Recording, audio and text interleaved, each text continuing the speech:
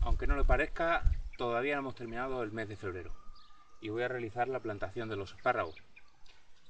Ahora como veis tengo las garras preparadas en el lugar que van a ocupar en la nueva plantación. Pero previo a esta colocación de las garras, eh, lo que he hecho ha sido preparar el terreno. Este terreno está ocupado previamente con abonado verde y de cultivo de habas, que ya piqué y, aporté al terreno hace un par de semanas aproximadamente. Ahora lo que he hecho ha sido mover ese terreno, prepararlo en profundidad, recordad sin voltear el suelo. Además, he añadido arena de río lavada, la típica de construcción, y he echado un par de carros aproximadamente. Y además también le, le he aportado un par de carros también de tierra vegetal para darle mayor fertilidad. También es buen momento en la realización de las labores de preparación del terreno aportarle estiércol e incluso algún tipo de abono mineral para, mejorar la fertilidad del terreno. Ya he nivelado el terreno, eh, debajo de, la superficie en la que se encuentran colocadas las garras, lo que tengo será aproximadamente unos 10-15 centímetros. Eso facilitará el desarrollo de esas, de esas raíces.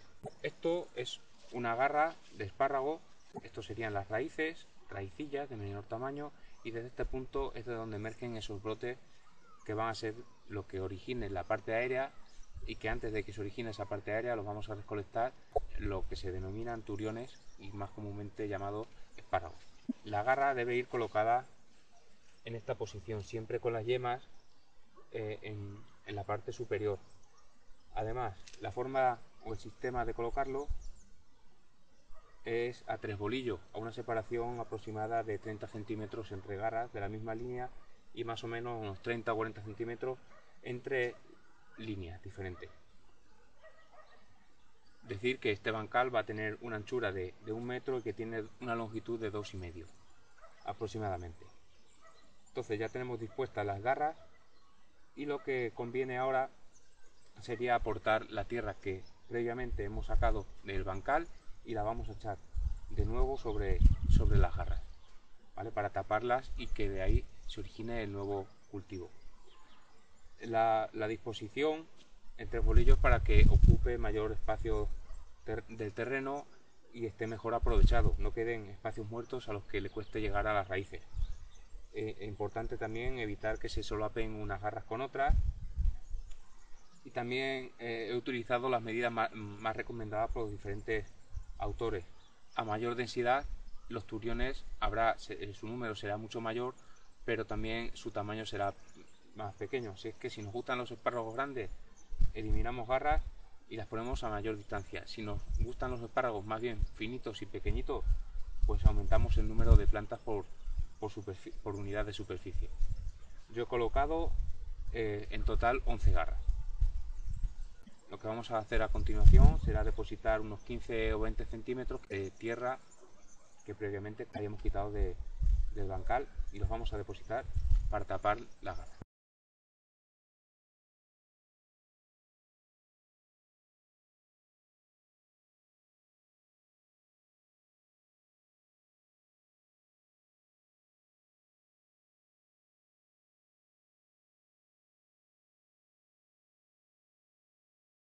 Ya tenemos todas las garras sujetas, ya de ahí no se van a mover, así que vamos a terminar de completar toda la tierra, a, colocarla de nuevo en el bancal.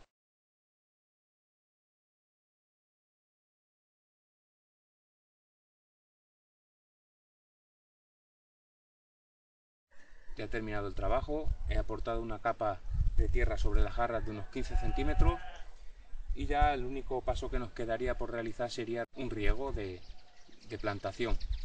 Aunque el tiempo está fresco, la tierra está fresca y se, según el parte meteorológico para los próximos días se avecinan lluvias, no, no viene mal realizar un aporte de agua.